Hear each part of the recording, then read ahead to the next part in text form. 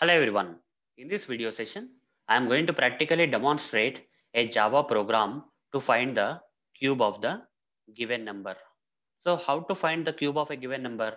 Let's say the user has given a number say 5 and if you have to find the cube of this number, how to find? Simple guys, multiply the same number three times. 5 into 5 into 5 like this. This result will give the cube of this number. That is 5 5 the 25, 25 5 the 125. 125 is the cube of this given number 5.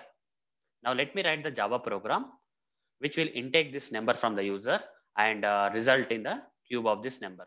That is if you input 5, the program should output 125.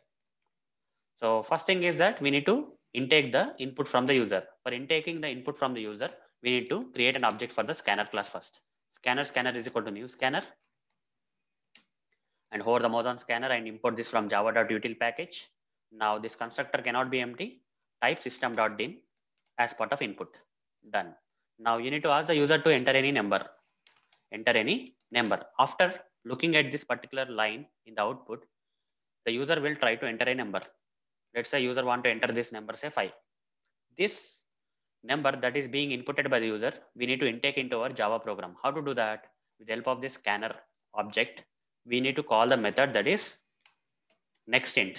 Why we are using nextInt command here for intaking this number? Because this is a number guys. NextInt will intake an integer, which is nothing but a number. That's why we have to use nextInt. So this nextInt will collect this particular inputted number by the user. And we can store this particular intake intaken number into a variable.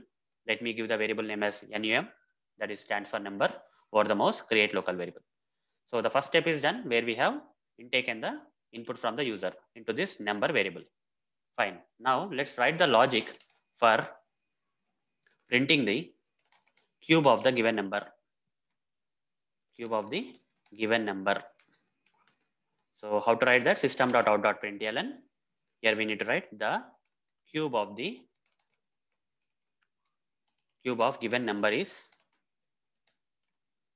plus provide the circular brackets inside the circular brackets copy paste this number into again the same number into again the same number three times you have to multiply the same number by itself this result will give the cube of the number now we are done with writing the logic for finding the cube of the number but before running this uh, program we need to clear out this warning. There is a warning coming saying resource leak scanner.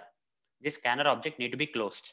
As part of the best practice, after receiving the required input, we need to simply close this object. So this will not only, this is not only the best practice, but also it will resolve the warning messages. It's not mandatory though. Fine. Now we are done with this thing. Let's right click run as Java application. This will run the program. You see it's asking the user to enter any number. Let's say as a user, if I enter the number 5, the cube of the number should be printed. The cube of the given number is 125. 5 into 5 into 5 is 125. What if I give something like 2? So it will ask, I am running again. It will ask for the number. If I give the number 2 here, so it will multiply this 2 by itself by 3 times. 2 to the 4, 4 to the 8. 8 should be printed as the cube of the given number is 8.